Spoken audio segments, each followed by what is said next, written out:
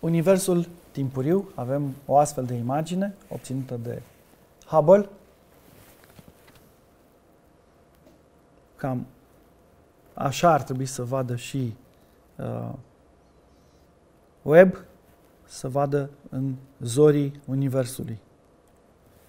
Originea vieții în Univers este una dintre uh, cele mai așteptate enigme să fie rezolvate, lăsând la o parte uh, teoriile conspirațiilor legate de originea vieții în univers, uh, lăsând la o parte ipotezele și teoriile științifice legate de originea vieții în univers, care uh, ne ajută să înțelegem, poate nu știm încă originea vieții în univers, dar știm că pe Pământ au fost create condițiile pentru apariția vieții, că a durat aproape 3 miliarde de ani până uh, viața, ființa vie, materia vie, a ajuns la nivelul la care suntem noi, acesta de conștiință individuală, de conștiință socială, de uh, organizare superioară a activităților cerebrale.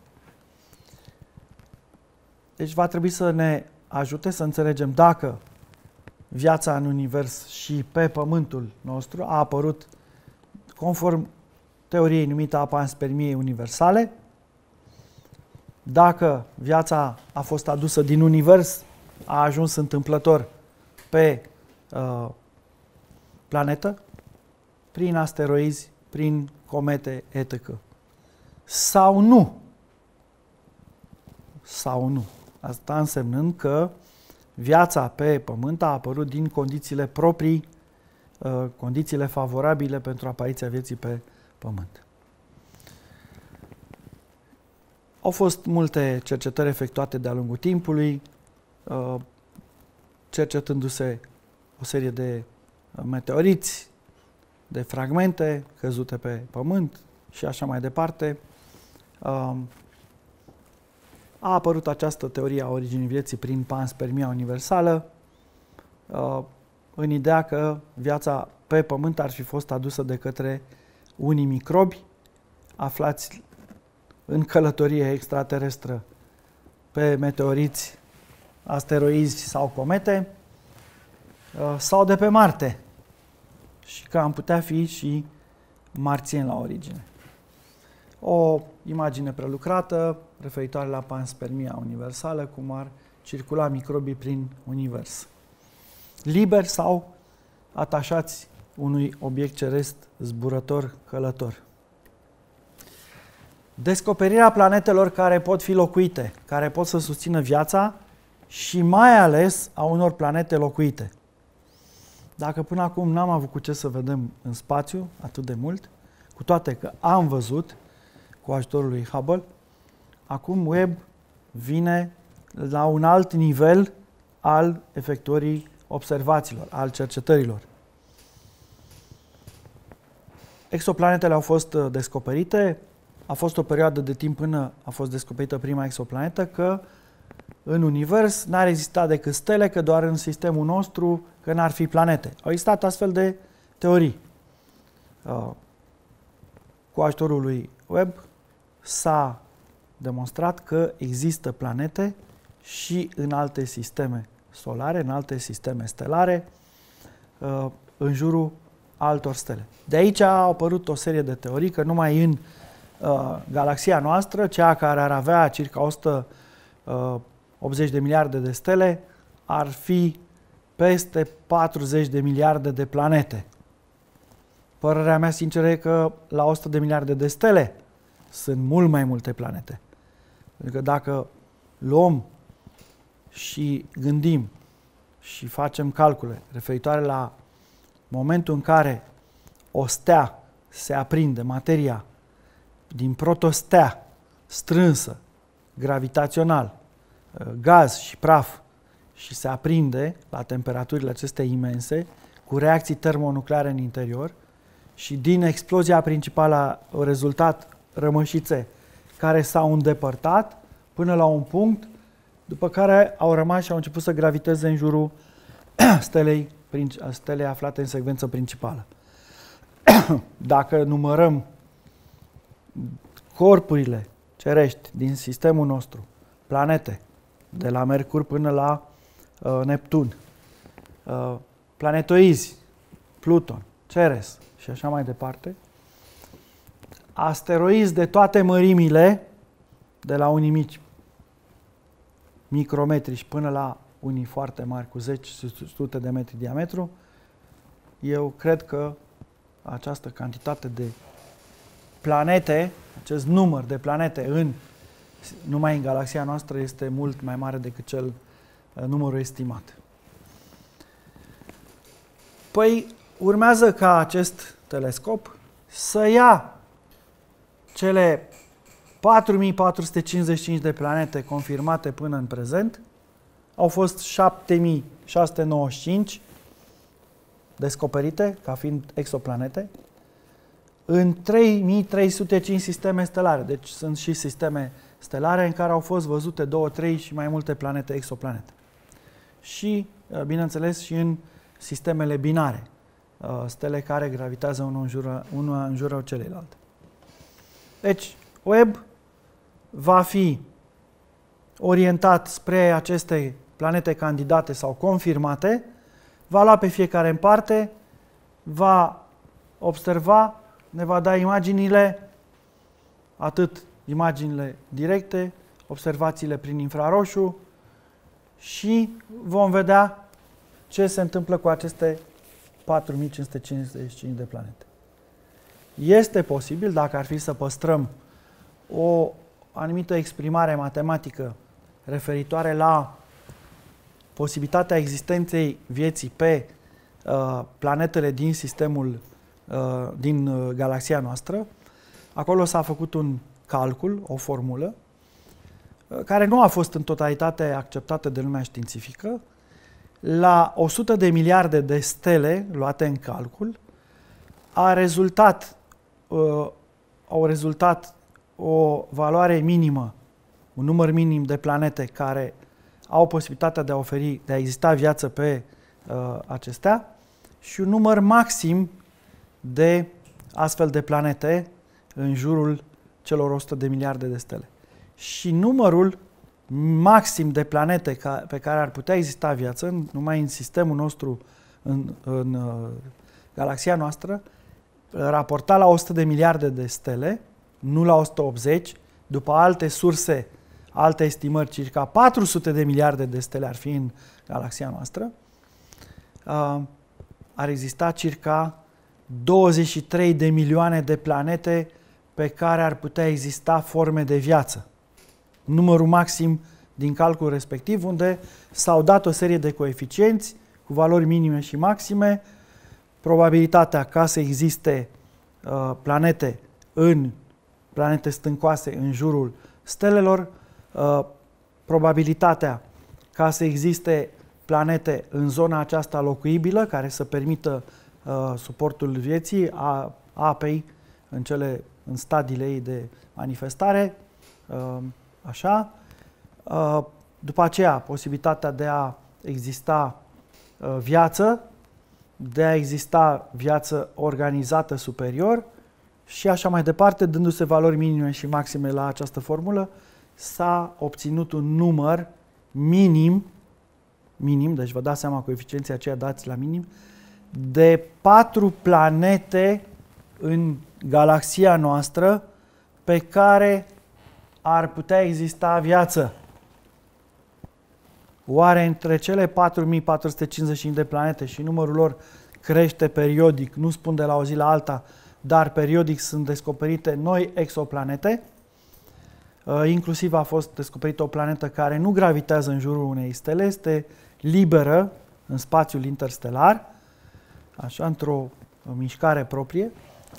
Între cele 4455 sau câte vor fi ele când va începe să funcționeze web, există șansa să apară, să fie descoperită una care poate să suporte viața, să ofere condiții uh, necesare existenței vieții, rămâne să vedem în viitorul apropiat. Printre, am mai spus și am mai prezentat uh, planetele acestea suspecte, între ghilimele, că ar putea suporta viață, avem Kepler 22b, HD Vulpecula, HD uh, 209 458B și altele. O altă direcție foarte importantă de studiat, pe care uh, o vor urma cei care coordonează uh, telescopul web, se referă la materia întunecată, energia invizibilă și găurile negre. Din aprecierile astrofizicienilor ar rezulta că materia întunecată în univers ar fi într-o uh, proporție de circa 23%, energia întunecată ar fi de 73% din materia din univers, iar restul de uh, circa 6% ar fi materia pe care noi o vedem în univers. Uh, vedem galaxiile îndepărtate, în galaxia noastră stelele, uh, toate cele uh, cerești și, bineînțeles, și materia aceea uh, neorganizată pe care o vedem, praful și gazul stelar, acele nebuloase difuze, protostele și așa mai departe. Va fi greu de descoperit, întrucât se apreciază că această materie întunecată nu emite și nu absorbe lumină sau radiații electromagnetice sau de altă natură, deci nu poate să fie observată cu telescoapele, uh, cu radiotelescoapele și așa mai departe. Rămâne de văzut dacă uh, efectele pe care le generează materia întunecată și energia invizibilă vor fi detectate cu ajutorul lui Webb. Um, cert este că există această influență, așa este ea apreciată, uh, cercetătorii apreciază că există pentru că se văd efectele. Altfel nu se pot explica anumite mișcări ale galaxiilor în univers, ale universului în uh, sine, în esență. Deci, acele efecte uh, care se observă vor fi studiate de către uh, sau vor fi studiate cu ajutorul acestui telescop. Va fi orientat și pe direcția în care astăzi știm că acolo sunt găurile negre. Am și văzut o gaură neagră cum devorează uh, o stea. Va fi uh, orientat web pe direcția acestor zone în care uh, din calcule rezultă că sunt găuri negre și uh, rămâne să vedem ce alte descoperiri vor mai fi uh, făcute. Eu sunt foarte curios. Vor fi studiați, bineînțeles, și acești casari, gaura neagră, gaurile negre de care am spus. Um, e clar că nu, nu se va putea vedea gaura neagră, dar materia de jur împrejur, efectul gravitațional, efectul acesta, să spunem, termonuclear, dacă există fenomenele acestea, reacțiile chimice termonucleare vor putea fi observate în, uh, de jur împrejurul acestor uh, găuri uh, negre. Um, recent v-am informat că au reușit să vadă o stea undeva în spatele unei găuri negre. Și probabil că vor fi reluate aceste uh, observații și vor urma noi descoperiri uh, foarte importante pentru cunoștințele noastre, pentru uh, ceea ce dorim noi să știm despre Univers.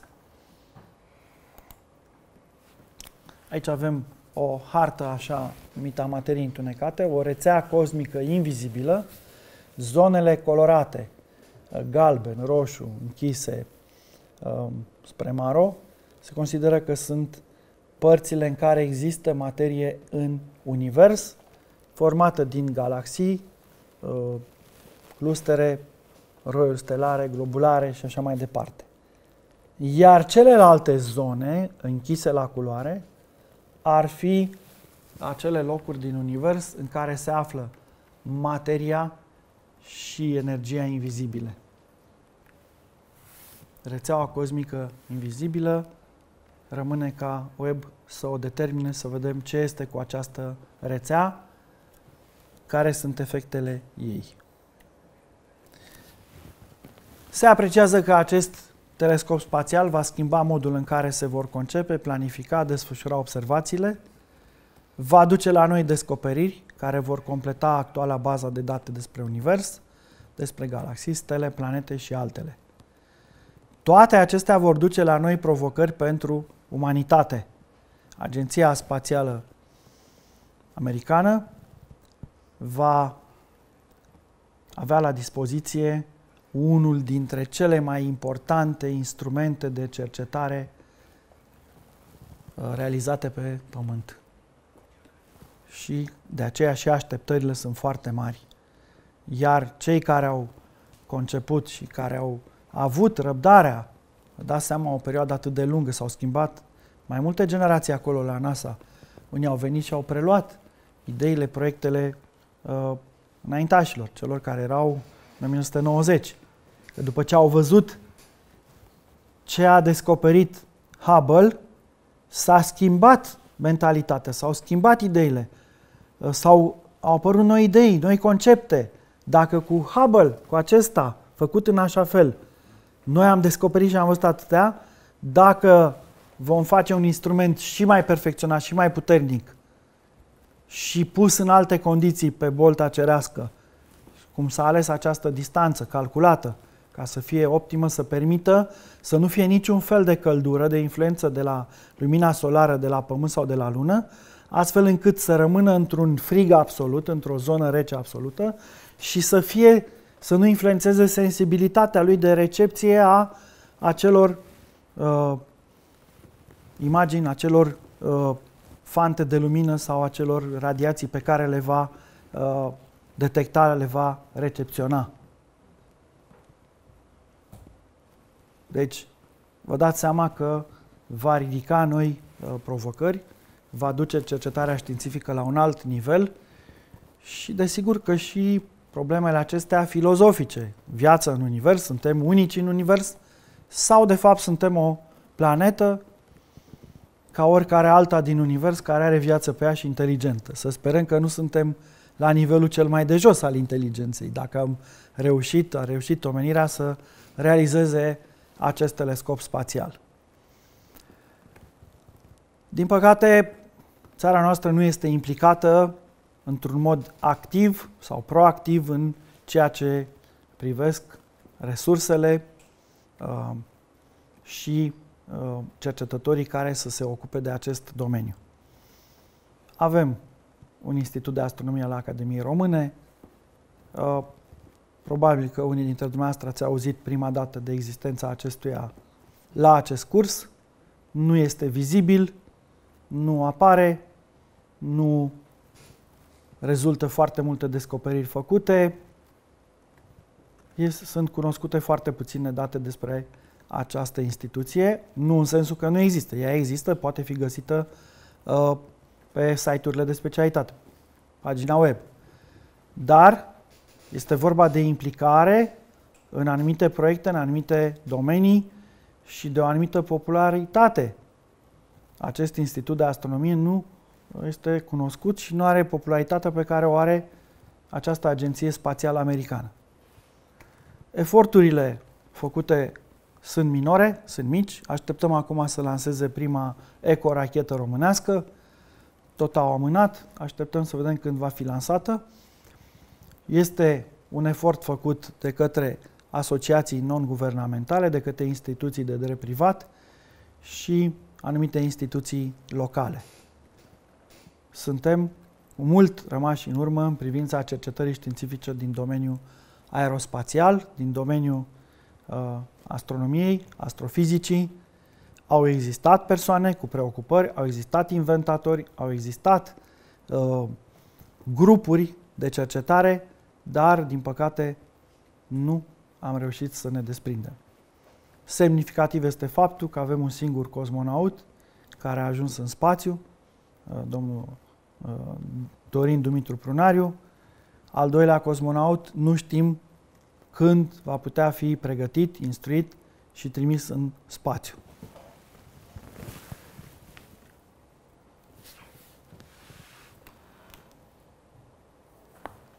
Dacă aveți întrebări.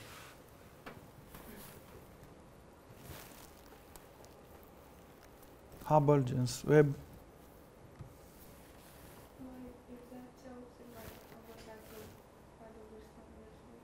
Cum?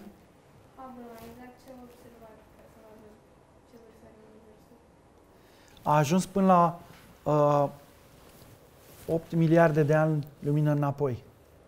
Deci până acolo s-a văzut materia cu ajutorul lui Hubble. Păi da, și până la 14 miliarde. Păi uh, Webb va vedea mult mai departe de 8 miliarde, peste limita de 14 miliarde.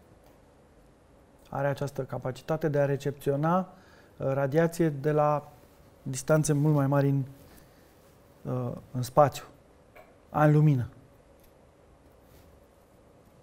Deci este un instrument perfecționat dacă îl comparăm cu Hubble. Din punct de vedere constructiv, din punct de vedere al dotărilor, din, vă dați seama, toată tehnologia de vârf din acest moment există pe el. Am uh, făcut prezentarea aici a elementelor principale. A, nu am scris toate uh, sistemele de aparate.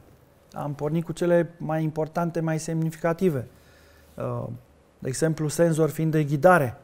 Îl are implementat la bord, astfel încât, în momentul în care s-a stabilizat pe o direcție, să spunem spre o gaură neagră, el își va păstra acea direcție, uh, va observa um, prin acest senzor fiind de ghidare, ca să mențină o perioadă îndelungată de timp pe o anumită direcție să observe. Deci nu va fi uh, perturbat. Este, dacă vreți, Uh, ca atunci când noi ne deplasăm, ne uităm într-un punct, am fixat privirea într-un loc și noi ne deplasăm. Deci privirea noastră este telescopică. La fel este și privirea, între ghilimele, a lui uh, Webb, telescopică față de un punct. El se mișcă, gravitează, dar are acest acord fin încât este, uh, camera este orientată pe direcție și rămâne stabilizată pe direcția respectivă în spațiu. Nu am intrat în detalii cu toate aparatele și instrumentele de la uh, bord. Uh, le puteți găsi pe site-urile de specialitate. A fost uh, mai degrabă o prezentare generală a acestuia decât una tehnică. Însă problemele de astronomie uh, sunt cele pe care le-am prezentat și acestea în fapt reprezintă esența uh, construcției uh, acestui instrument foarte scump și o bijuterie.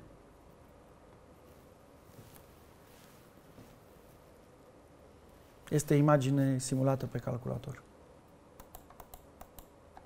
Aici este imagine din uh, sala în care este pregătit uh, pentru a fi transportat uh, la baza de lansare pe racheta Ariane și după aceea uh, vor urma uh, operațiunile de uh, plasare pe orbită, de punere în funcțiune, de operaționalizare, astfel încât să uh, intre în funcțiune. Am văzut o serie de imagini, o serie de filme, uh, documentare cu modul de construcție al acestuia, cu, de la uh, proiectarea acestuia. Uh, au lucrat un număr foarte mare de oameni, un număr mare de companii, s-au făcut o serie de invenții, o serie de inovații pentru uh, materiale din care este uh, construit acest uh, telescop spațial.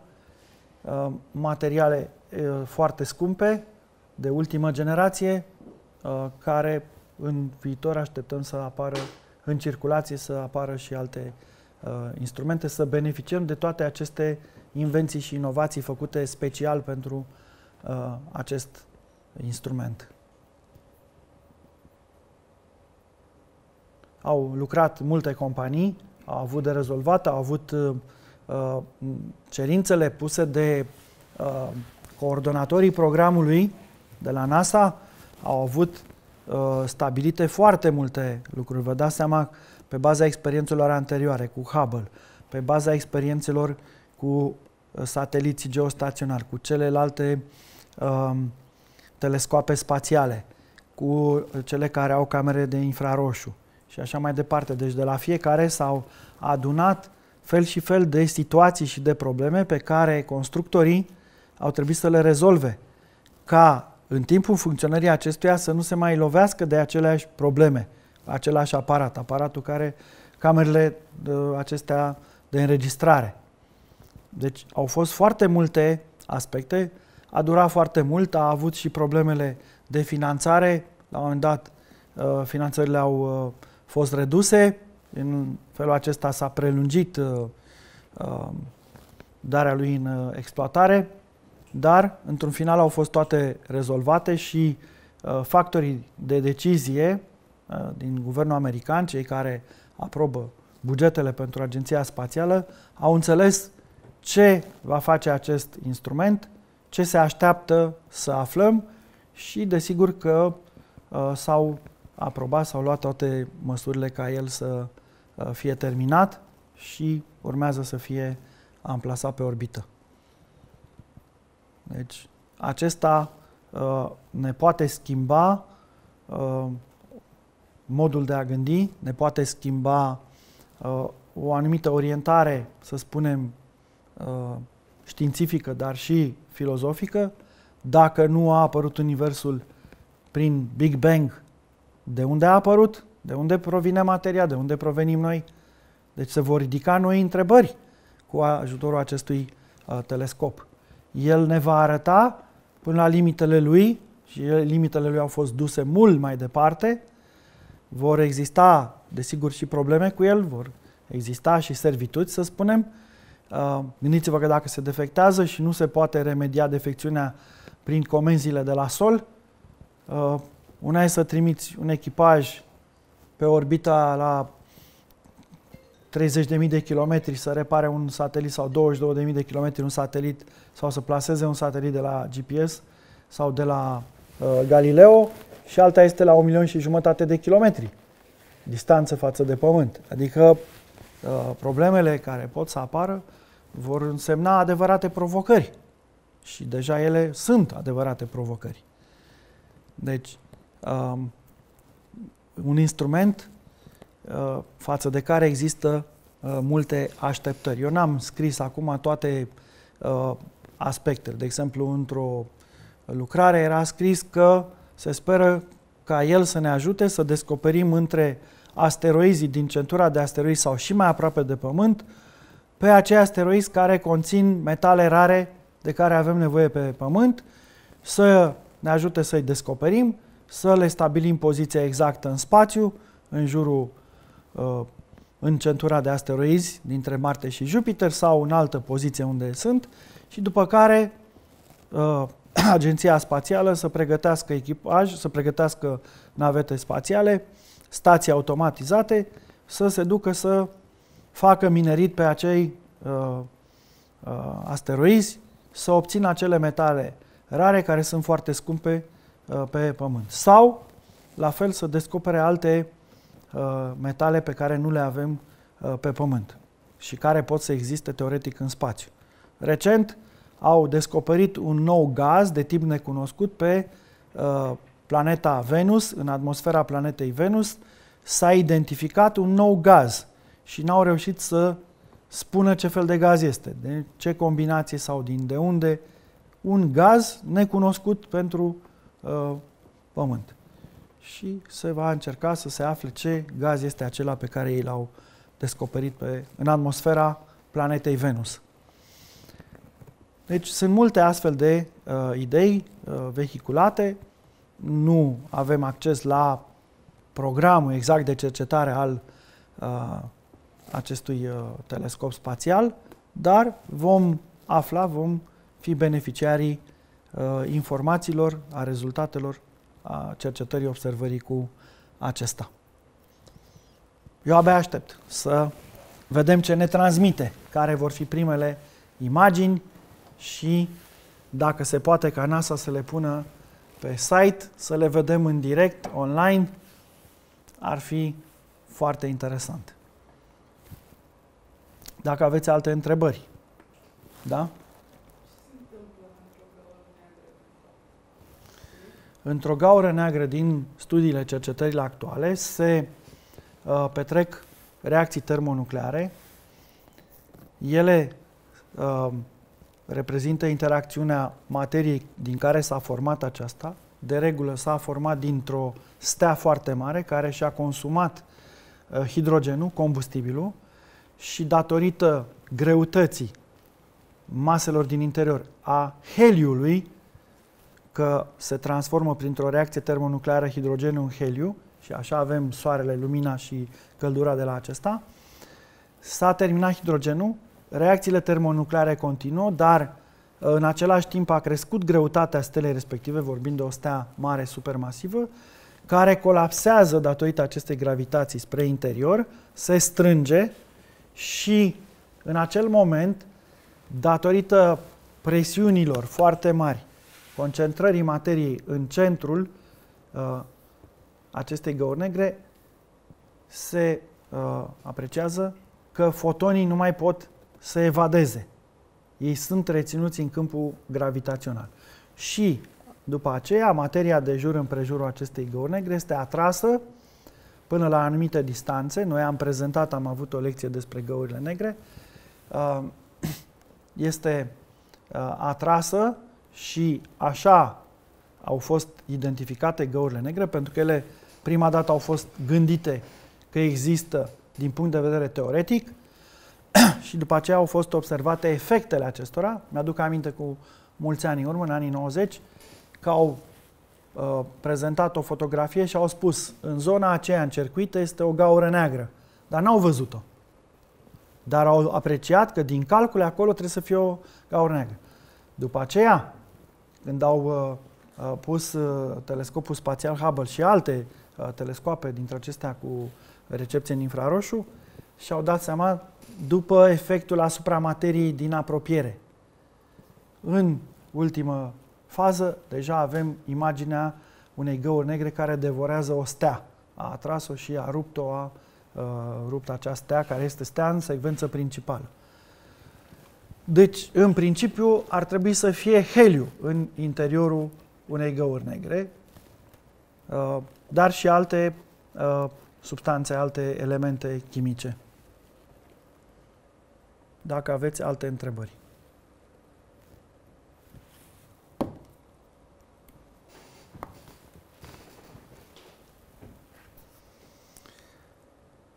Dacă nu mai sunt întrebări, vă mulțumesc pentru atenție. Ne vedem uh, joi dimineață la ora 9 pentru observații astronomice cu uh, telescopul la Soare.